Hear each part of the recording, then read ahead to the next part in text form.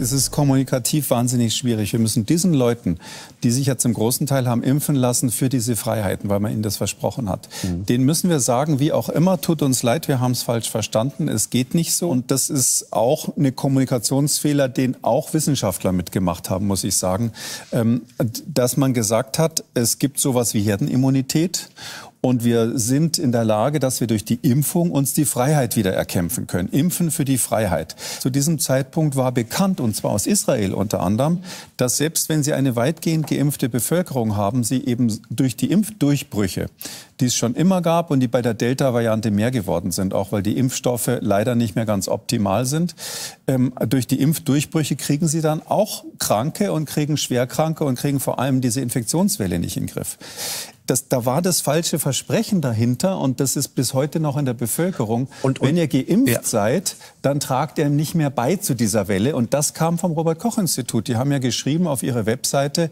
dass die Geimpften keinen wesentlichen Beitrag zum Infektionsgeschehen mehr leisten. Das stand, das ist auch interessant, wenn man sich, wenn man mal genau hinguckt, was wann wo geschrieben wurde und was jetzt auch sozusagen so verschwindet, ohne ja. dass es äh, groß auffallen soll. Das ist soll. inzwischen weg, ja. Genau. Es muss einfach was da klar sein, ähm, dass diese, die dieses Versprechen einer Herdenimmunität, das funktioniert zumindest bei dieser Variante Delta und bei diesen Impfstoffen nicht.